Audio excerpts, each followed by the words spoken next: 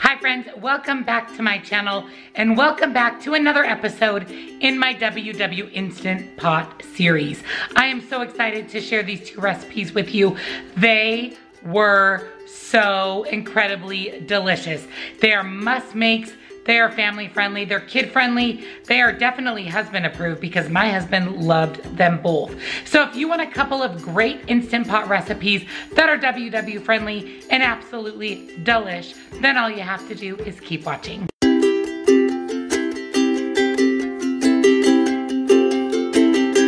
So for tonight's Instant Pot recipe, we are going to be making jambalaya. Now, one of the girls at my work tried this recipe and she said it was phenomenal. So I am very excited to share this with you tonight. So let me show you what is in our jambalaya. So first you're going to need some rice. I just have some regular long, long grain white rice, chicken broth or chicken stock, olive oil, Worcestershire sauce, hot sauce, some sort of sausage. So I'm going to go ahead and use the Sam's Choice chicken apple sausage. Super low in points, two smart points, per link. So that'll keep the points down too on our jambalaya. It also calls for Cajun seasoning. Now, I do not have any Cajun seasoning, so I'm going to go ahead and substitute with DAKS Original Red. This is a zero salt seasoning. I absolutely love this seasoning. Here are your ingredients. So, has some of the similar ingredients that is in Cajun, just with maybe a little bit less of a kick. If you have not tried DAKS, I highly urge you to do so.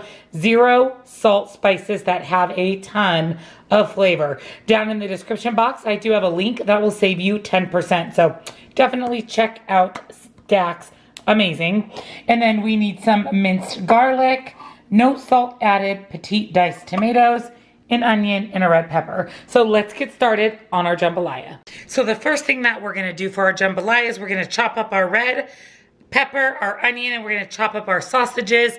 Red pepper and onion in one bowl, sausages in the other. So let's get to chopping.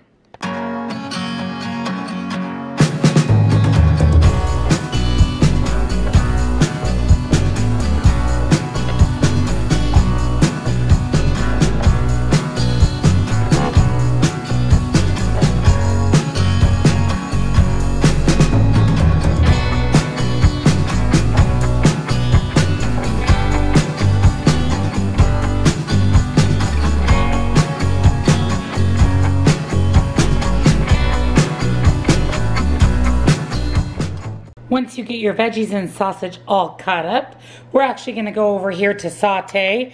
We're gonna turn on our Instant Pot until it is nice and hot. And then to that, we're gonna go ahead and add in our oil and our veggies. Once your Instant Pot gets nice and hot, what I have here is one teaspoon of olive oil. So we're gonna go ahead and add that to the bottom of our Instant Pot. Let it warm up for just about five seconds or so. And then we're gonna go ahead and add in our peppers and our onions. Listen to that delicious sizzle.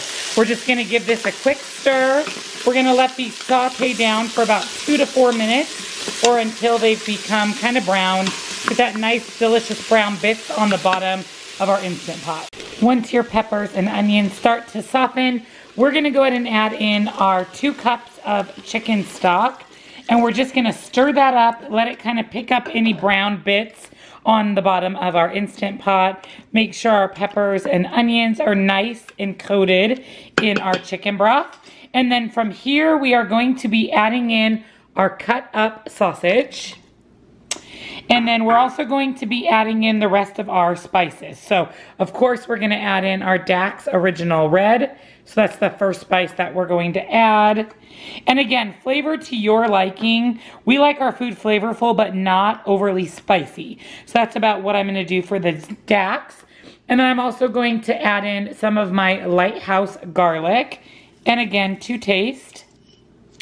I'm also going to add in my can of petite diced tomatoes.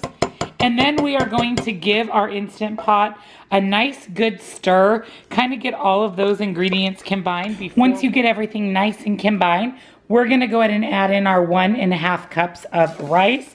Now the trick with the rice, we do not wanna stir our Instant Pot. We just wanna spread our rice out and we want to just push it down so that it is soaked in all of the liquid.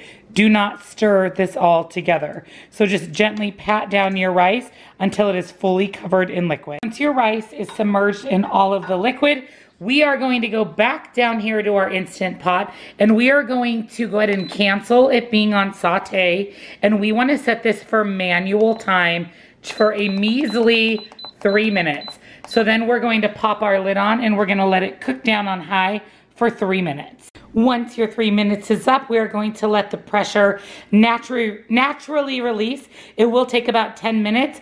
Then we're gonna add in our Worcestershire sauce and our hot sauce. And my friends, our jambalaya is done. 30 minutes or less to your table. Yum. Okay, once you pop your lid off, our rice is cooked perfectly. We are going to be adding in two teaspoons of Worcestershire sauce. And then we're also going to be adding in one teaspoon of hot sauce. And then we're gonna give that a big stir. And that's it, you guys. That, my friends, ooh, we're steamy. Hang on. That is our jambalaya. It looks so good. That is a lot of food and a serving is one sixth. So let me get this on my plate and I will show you the serving size and of course give you the smart point. And here is our completed jambalaya. So this is quite a large serving. It is just over a cup and it is only six smart points. So look at that sausage, the rice, the veggies. What a indulgent, delicious treat that is usually extremely high in points. Again, only six smart points for Instant Pot Jambalaya. So for tonight's Instant Pot dinner, we are making meaty Italian pasta. So this is going to be loaded with deliciousness. I cannot wait. I'm going to pair this with a vegetable. So I'm going to show you what is in tonight's dinner, but I do want to let you know that I am also going to be including two and a half cups of water, which I'm not showing you. And then I have a couple of substitutions, so I'll show you that as well. So first, you are going to need some olive oil. The recipe actually calls for avocado oil, but I'm just going to use olive. That's what I have on hand. You'll need some garlic, roasted red peppers. I'm going to use Rotel in place of the tomato sauce just to get that little bit of extra bulk and some green chilies in there for flavor. Petite diced tomatoes. You'll need some sort of sausage. So the recipe actually calls for bulk Italian sausage. So I went ahead and went with this frozen turkey breakfast sausage to save on points. You'll need some extra lean ground beef. I have 96.4. Worcestershire sauce, mozzarella cheese. So of course I'm using the Trader Joe's light shredded mozzarella. You'll need some tomato paste and last but not least some balsamic vinegar. And I think I showed you the pasta, but if not, you'll need some pasta. And of course I'm using the Fiber Gourmet light penne pasta. Two ounces is only three points. So it is half the smart points of regular pasta and it is amazing. Better than pasta. Literally way better than pasta. You can order this off of netrition.com and there is a link down in the description box that will take you directly to their website. So there you have it, my friends. Let's get started on tonight's Instant Pot dinner. So the first thing you're gonna do is turn your Instant Pot onto saute. To your Instant Pot, you're gonna go ahead and add your one pound of lean ground beef and half of a pound of whatever sausage that you are using. We wanna get this nice and browned and get it pretty much cooked up in our Instant Pot. And while the meat is cooking, we're gonna go ahead and chop up our roasted red peppers. Once your hamburger and sausage get pretty much cooked down, we are gonna go ahead and add in one tablespoon of olive oil. And then we're also going to add in one half of a cup of our chopped up roasted red pepper. Make sure you guys get them not in oil. And then we're also going to add in just a little bit of garlic. And then we're gonna let this finish cooking down until everything is nice and cooked through all the meat. It'll give the chance of the peppers and the garlic a chance to kind of let, I'll clean you off. There we go, sorry. Uh, let those flavors all meld together. Once your hamburger is fully cooked, we're gonna go ahead and add in about one and three quarters cup of water. And we are also then going to go ahead and add in our eight ounce package of Fiber Gourmet pasta. And then we're gonna give this a quick stir and we're gonna let it sit for just about a minute or so. And then we're gonna add in the rest of our ingredients. And we are still on the saute function. Next, we're gonna add in the rest of our ingredients except for our cheese. So we have one quarter cup of balsamic vinegar. We're gonna go ahead and add our entire can of petite diced tomatoes. And this is where you would add your tomato sauce, but instead I decided to go ahead and add in some Rotel. So I'm gonna add in that. And then I'm going to put in about two tablespoons of Worcestershire sauce. And I'm not gonna measure, I'm just gonna kind of wing about two tablespoons worth. And then last, we are going to put a quarter cup of the tomato paste. And then we're gonna give this a nice big stir. And we're ready to get this pressurized and cooking. But this smells so good. I cannot wait for tonight's dinner. Once all your ingredients are in there, you wanna hit your manual button, put your pressure cooker on to low pressure, pop on your lid, and we're gonna let this cook down. I'll be back to show you the completed dinner. I forgot to mention, we're going to cook this on low pressure for five minutes. Once your pasta is done cooking, you are going to manually release by turning it from venting to steam. And we are going to let all of the steam out and then we will be ready to top our pasta with our cheese. So I just popped the lid off of the Instant Pot and look at how delicious this looks, you guys. Yum. So next we're going to add one cup of mozzarella cheese. So again, I'm using the Trader Joe's. You're getting steamy again. There we go. And then I'm just gonna mix this into the pasta and we'll be ready to plate it up with some veggies and I'll give you the smart points. So here is my completed dinner. Look at how delicious this pasta looks. I just tried a little bit of the meat and the flavor is on point.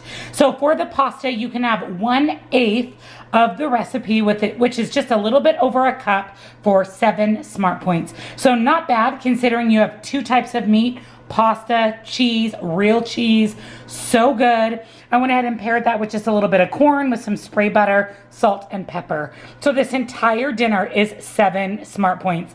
Definitely a must try recipe.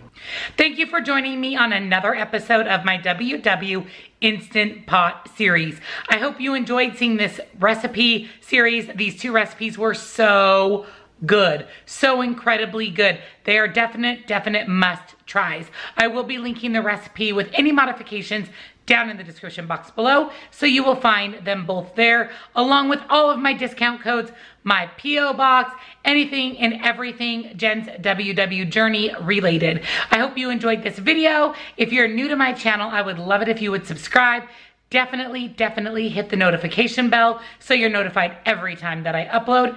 Give this one a thumbs up, comment down below. Let me know, are you gonna try these recipes? Because I tell you, you must. They are delicious.